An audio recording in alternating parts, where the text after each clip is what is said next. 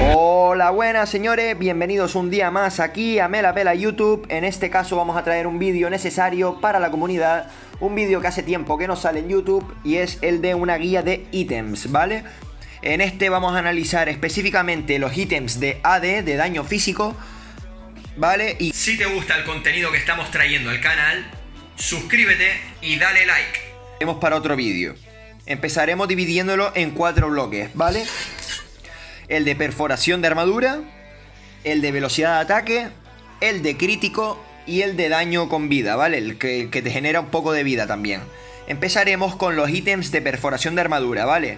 Por ejemplo, este que están viendo aquí. El rompefila. Bueno, todo empieza por la espada corta, ¿vale? Eh, luego, posteriormente, los de perforación de armadura pasan a lanza astral. Lanza astral es el que te da directamente perforación de armadura. Cuesta 830, te da 50 daño de ataque y te da la pasiva única que es reducción de armadura con una perforación de más 60 por nivel, ¿ok? Vale, el lanza astral tú luego lo puedes fusionar por tiene varias posibilidades. Por Longinus. También tienes por Muramasa. Y por último tienes por Rompefila. Vale. El ítem que normalmente pones como guerrero, asesino.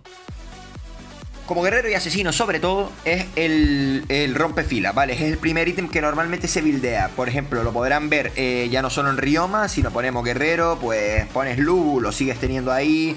Pone Cephis, lo tienes por aquí. ¿Ves? Siempre, normalmente es el primer ítem. Vamos a seguir poniendo a Rioma ahí arriba. ¿Por qué? Pues porque mostramos muy buenos ítems ahí que queremos enseñar. Vale, Recordad, venga, el rompefila 2020 de oro y lo que te da el rompefilas es, aparte del daño de ataque, te da dos pasivas únicas, ¿vale? Una es un 10% de, aumento de velocidad de movimiento al salir de la batalla, que te viene muy bien para rotar en la línea del top lane, o al jungla, pues para gankear y salir rápido y rotar entre líneas, y también te da la, la pasiva única que es quiebre, que incrementa la perforación de armadura por 100 más 10 por nivel, ¿vale? Por lo tanto, es muy buen ítem, es muy necesario en el early. ¿Por qué? Porque tú vas a enfrentarte en el solo laner contra otro que probablemente puede también ser una hiena con algún ítem de defensa, un Rictor, un Malok. Vale, es un ítem necesario. El siguiente ítem de perforación de armadura que lo tenemos es Muramasa. Normalmente el Muramasa eh, que te da 75 daño de ataque, te da un poquito menos de daño de ataque, pero te proporciona esa reducción de enfriamiento necesaria, el 10%, y la perforación de armadura es mucho más grande porque es más un 45, pero por ciento, ¿vale? Es decir, el porcentaje de perforación mágica, de perforación de armadura es bestial. O sea, eso lo combinas con el rompefilas. Normalmente el, el Muramasa se, se suele poner en late game, ¿vale? Aquí con Ryoma no pero te lo sueles poner con campeones si te encuentras en el equipo enemigo muchísimo tanqueo, ¿vale? Si te encuentras en el equipo enemigo mucho tank, eh, combinar dos eh, ítems de perforación de armadura es muy bueno porque si no lo van a tener complicado. Por ejemplo, pues si de support tienes a, un Zane, en, el, en, la línea del mid lane tienes a un Jinar, ¿vale? Que va con dos ítems de tanque, con daño mágico y tanque. En el top lane, en, la jungla tienes a un Sephi. Solo imagínense este equipo. Y en el top lane tienes una Tara. ¿Qué necesitas? Full perforación de armadura. ¿Por qué? Porque el tanqueo que tienen es tan grande que si no, no les vas a hacer absolutamente nada en la partida. Por lo tanto, los dos ítems por excelencia de perforación de armadura, el Muramasa y el rompefilas. Aquí nos está señalando como eh, perforación de, armadura el, el Longinus también eh, ¿Por qué? Pues porque al golpear el objetivo eh, enemigo se reduce su armadura 50 puntos, ¿vale? O sea, es una pasiva del ítem que te da perforación de armadura, pero no te la aporta como el Muramasa y el clavete y el rompefilas, ¿vale?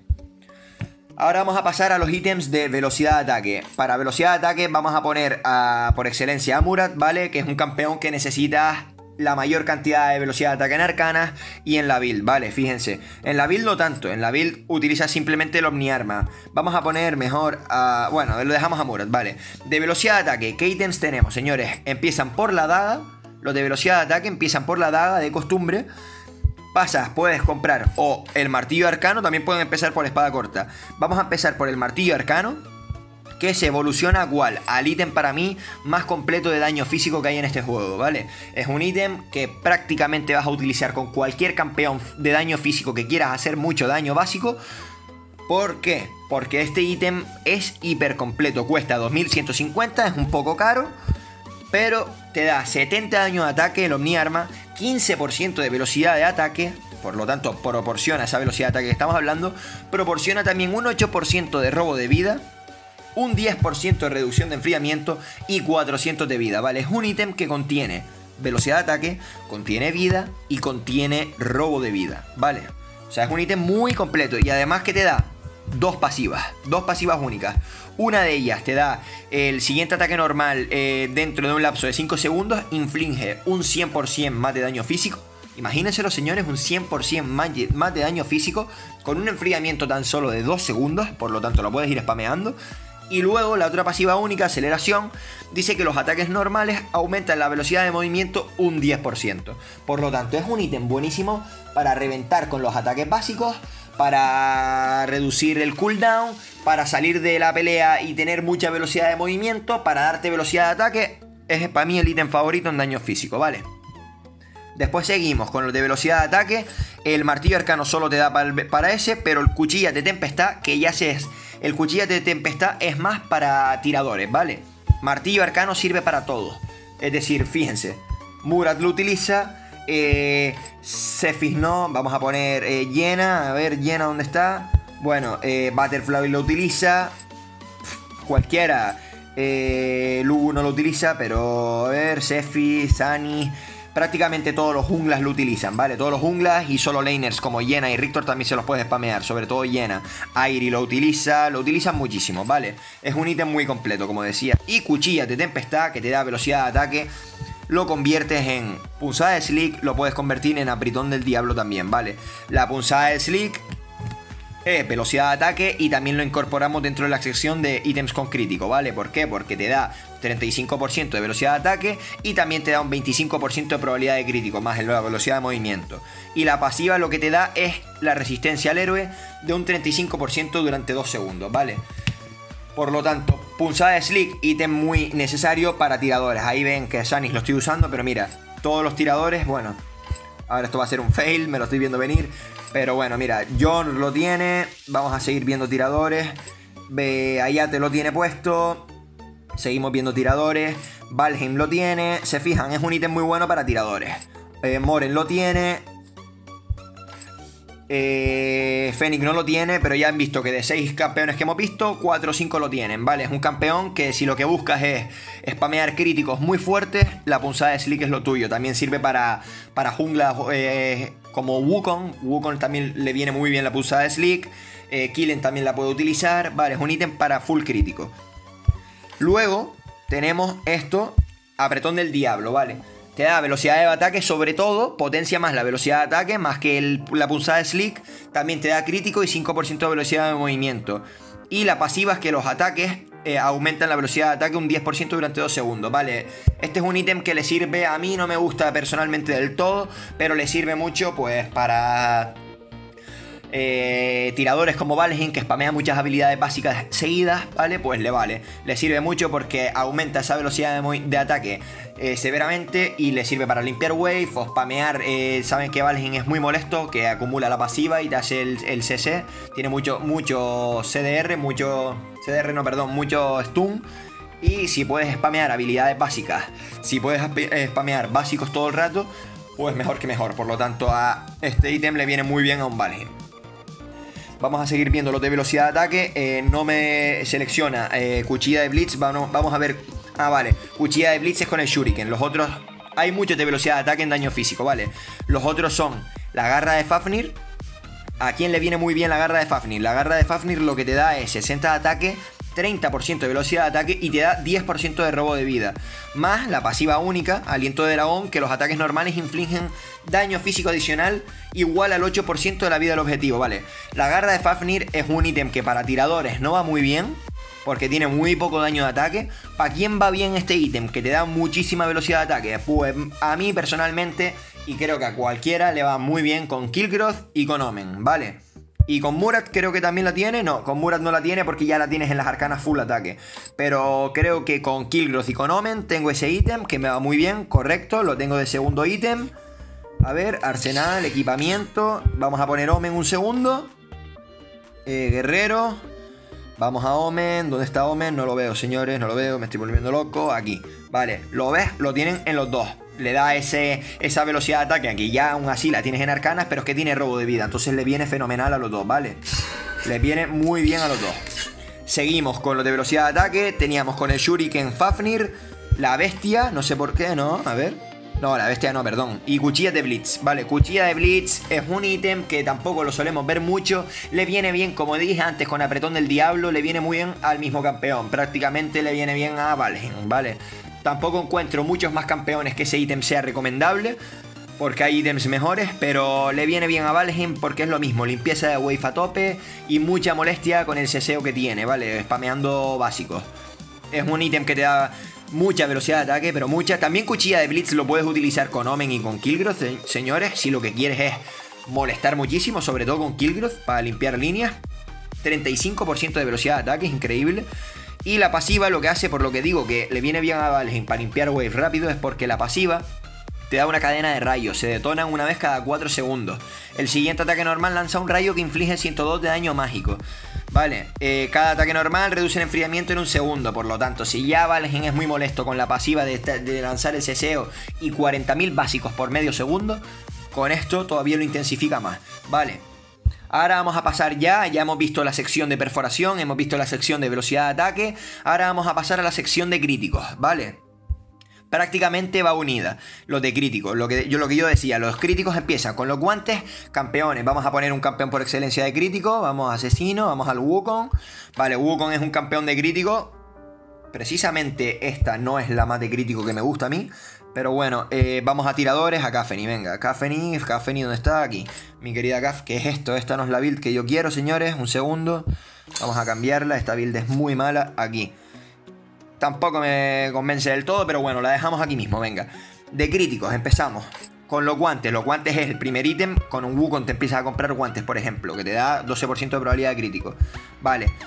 Poniendo crítico, simplemente me lleva al arco de la matanza. Vamos a empezar hablando con el del arco de la matanza. El arco de la matanza es un ítem que te da 90 de ataque, 15% de probabilidad de crítico y 10% de robo de vida, ¿vale?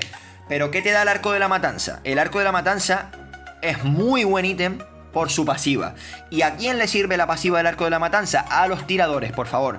He visto solo laners, he visto jungla poniéndose arco de la matanza. Por favor, no lo hagan más. Ya que la pasiva, como bien dice, el robo de vida en 90% por 3 segundos solo puede ser usado por usuarios a distancia. Por favor, no la utilicen si no son tiradores. Vale, seguimos.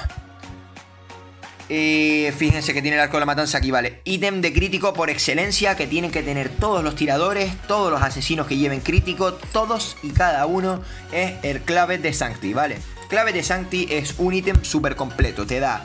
Parece un, ítem sencillo, solo 90 daño de ataques normales, y dices tú, ¿qué ítem más malo? Pero fíjense en la cantidad de pasivas que tiene, tiene tres pasivas. Una, velocidad de movimiento del héroe. En 3 a 45 por 1,5 segundos después de acertar un golpe crítico. Por lo tanto, buenísima. Golpe, va, golpe, viene y revienta. Otra pasiva, un 25% de probabilidad de crítico. Es decir, eso es una burrada de, probabilidad de crítico. Una vez que tienes las claves de Santi, cada, tres cada 4 básicos, uno de críticos, más todas las arcanas que tú tienes de probabilidad de críticos, prácticamente cada 4 golpes, 3 te van a dar de crítico. Increíble. Y luego la pasiva única te da más un 50% de daño crítico. O sea, ya tienes 25% de probabilidad más el 50% de daño crítico, más las arcanas que lleva. Una burrada. Este ítem es completísimo para el crítico. Luego tenemos de crítico, eh, a ver, la punzada de Slick, que lo hemos comentado. Te da 25% de probabilidad de crítico, lo que te da también es esa especie de sustain, porque te da resistencia al héroe en 35% en 2 segundos, es muy bueno para aguantar. Luego tenemos cuchilla de Blitz no, no y no. Ah, sí, eh, y apretón del diablo, vale, pero apretón del diablo es un ítem bastante pasado al olvido, no lo recomiendo, recomiendo más un punzada de Slick que el apretón del diablo, ¿vale? Por lo tanto, ya omitimos la parte de crítico. Ahora vamos a ver ítems un poquito más para sustain, para campeones que jueguen en el solo lane, que quieran tener un poquito más de aguante y vida, ¿vale? ¿Como cuál? Pues la lanza de Longino. Vale, la lanza de Longino lo que te da, que lo comentamos antes, aparte de 80 daños de ataque, que está muy bien, te da un 15% de reducción de enfriamiento, le viene muy bien. Por ejemplo, a campeones como Lu le va fenomenal, a Yena también le va bien, si lo que quieres es una, una build un poquito más de sustain. A un Arthur se lo puedes poner, también le va bien. A un Malok si quieres ir un poco de greedy, pero Malok no es recomendable. Vamos a poner ahí. Vamos a poner a. A Lu, a ver si lo tengo con eso. No lo tengo con eso, pero se le podría poner perfectamente, ¿vale? Eh, lanza de Longino. Lo podría poner por este y quitar ese. Pero bueno, no. El, eso está bien. Venga, lanza de Longino. Te da supervivencia con reducción de daño. ¿Ves? Es lo que te dice debajo. Te da 400 de vida. ¿Vale? Al golpear el objetivo se reduce también un 50% su armadura. Por lo tanto es muy bueno si lo que quieres es enfrentarte a un equipo tanqueado. Porque le reduce la armadura. Y otro ítem que te da vida, que estaba comentando, es el Omni Arma, que te da 400 de vida. Es un ítem súper completo, como mencioné bien antes, ¿vale? Eh, pasamos a eh, ítems de robo de vida. Nuestra última sección, aunque mencionaré los del medio. Ítems de robo de vida, tenemos la bestia, un ítem muy malo. Se lo suelen poner también campeones Valheim, los que juegan Valheim, pero no me gusta mucho este ítem. Lo que te da es un robo de vida un 25%, pero es que es su única pasiva y después el ítem, la pasiva del ítem, no, o sea, no, no tiene muchas, muchas cosas, simplemente siendo ataque y eso. Un ítem que te puede servir, por ejemplo, con un Rourke o algo si lo que quieres es robar un poquito de jungla, recuperar vida para luego venderlo, pero nada, no es un ítem muy bueno. Y listo, vale, ahora vamos a hablar de ítems en la fila del medio que son importantes como la hoz de la muerte, es muy bueno para tiradores. Vamos a tiradores, por ejemplo, eh, les pones para acabar.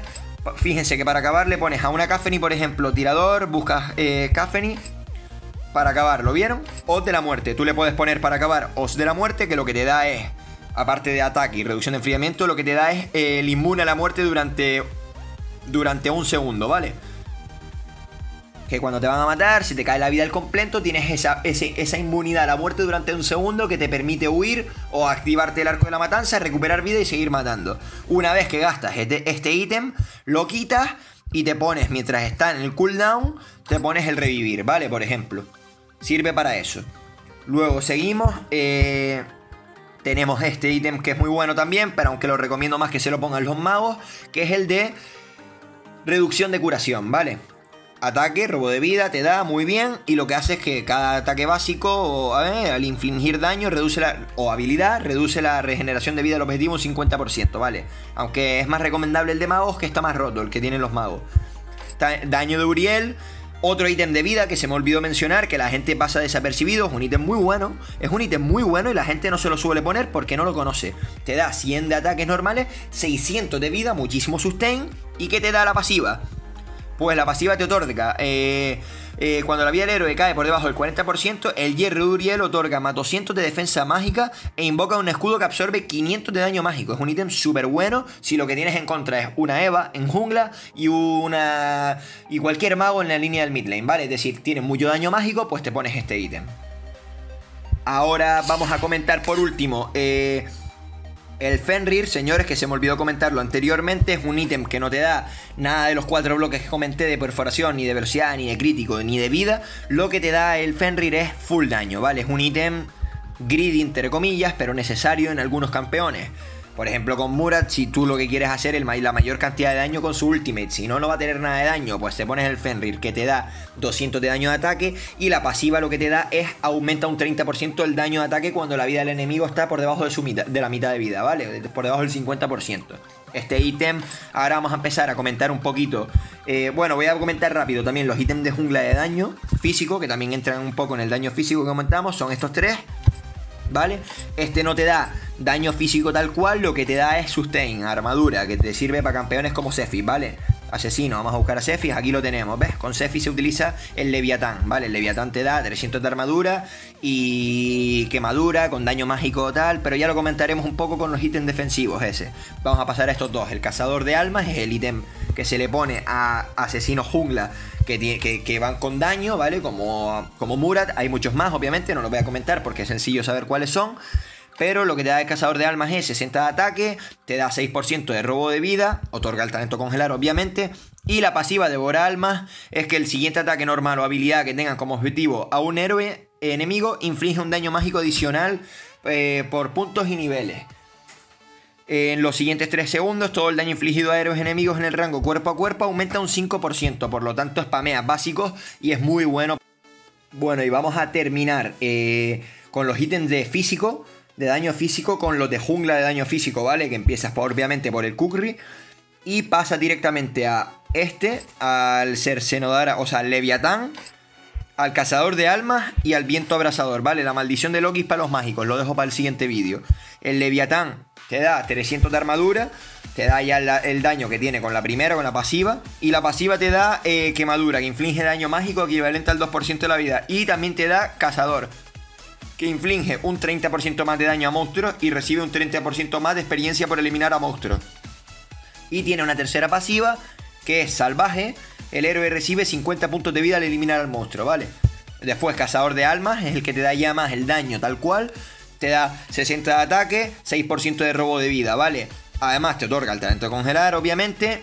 Y el devora almas, que te da el siguiente ataque normal o habilidad que tengan como objetivo a un héroe enemigo, inflige un daño mágico adicional de 225 más nivel en los últimos, en los siguientes 3 segundos, ¿vale? O sea, y después el viento abrasador que se le pone a campeones como Elandor, por ejemplo, jungla, a campeones que cuando utilizas a un Killgrowth jungla y demás, que normalmente le metes esto pues, con el robito de vida que te da, más el, daño de ataque y velocidad de ataque, ¿vale?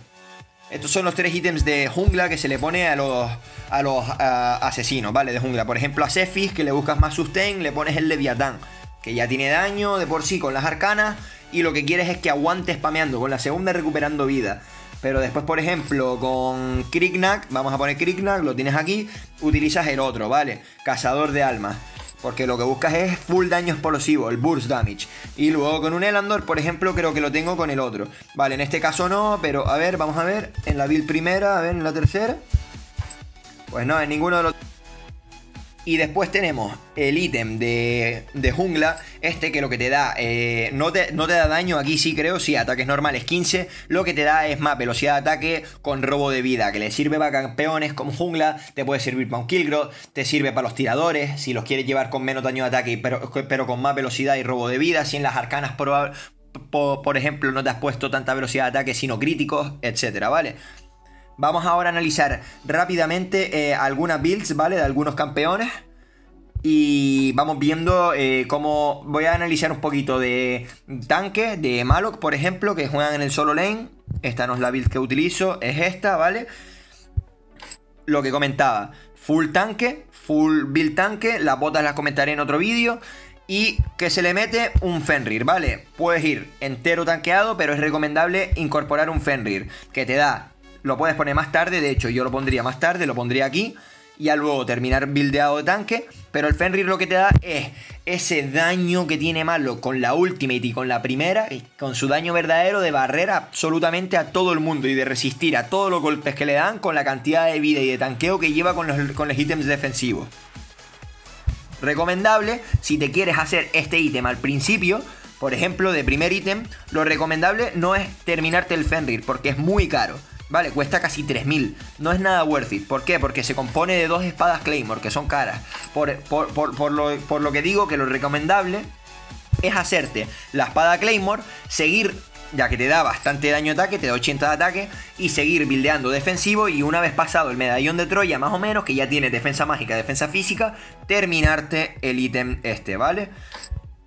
Hacer así y terminártelo. Venga, eh, pasamos a Yena, por ejemplo, otro guerrero de la línea del solo lane. Bueno, pasamos a Lubu.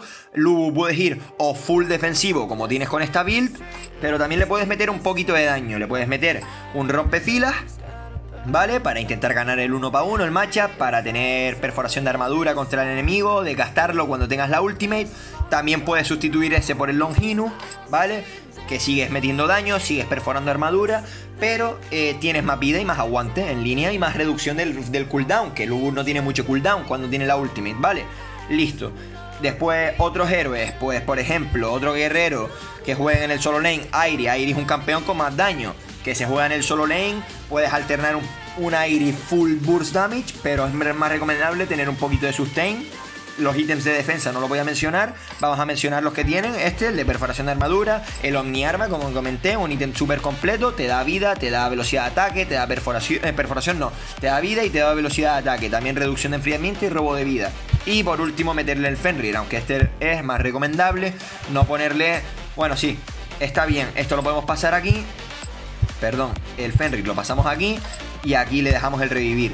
Defensa mágica no le pondría, tú lo que tienes que intentar con una Iris entrar, golpear, ultimate y salir, ¿vale? Más que estar metiéndote en medio del combate y aguantando, eso no es la función de una Iris.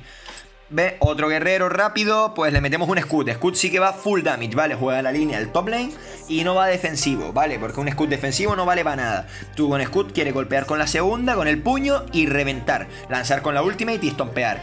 Por lo tanto, obviamente, como he dicho, rompefila súper necesario, un ítem muy completo. Omni Arma, si no aún más completo que el anterior, obviamente. Fenrir para el full damage, para con la segunda reventar con el rompefilas le quitas la armadura que pueda tener y con estos que ya lo deleteas. El Hércules es un ítem defensivo que comentaré en otro vídeo, pero que te da daño de ataque, ¿vale? 80 daño de ataques normales. Y el Revivir también te da daño de ataques normales, porque el Revivir se compone de este ítem. Y el Hércules se compone también de este ítem, del Claymore.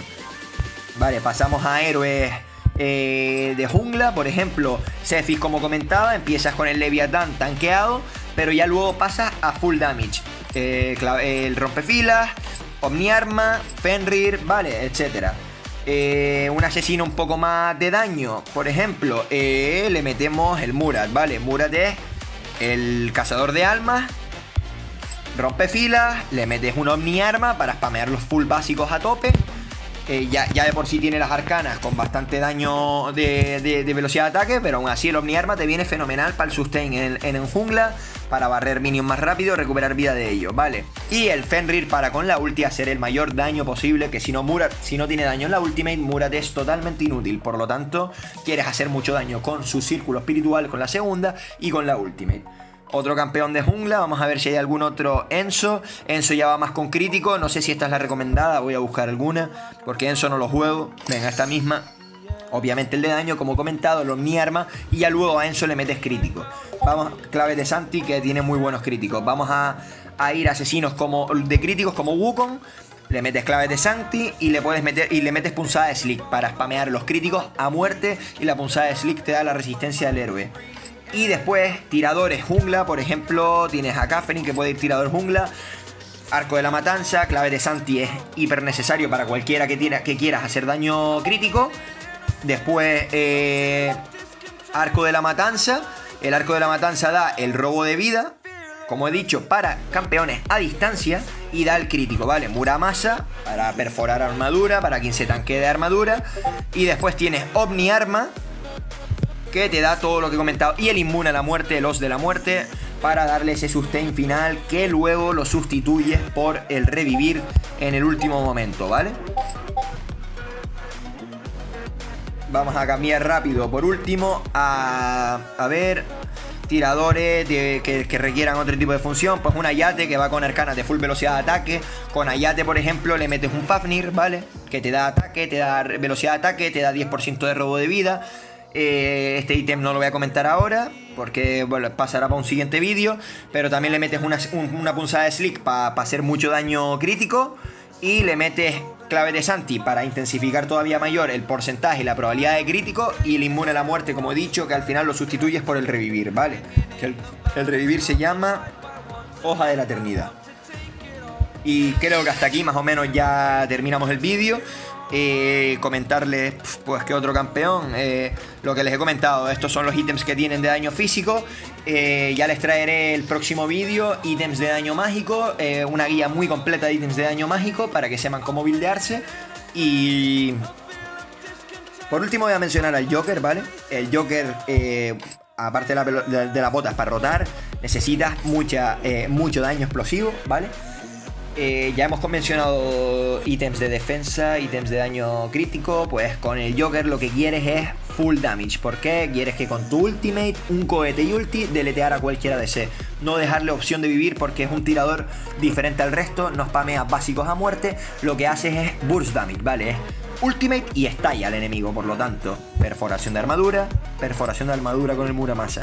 Omni Arma para intensificar los daños de ataque básicos y Fenrir para que con la Ultimate no des opción alguna a ninguno vivir.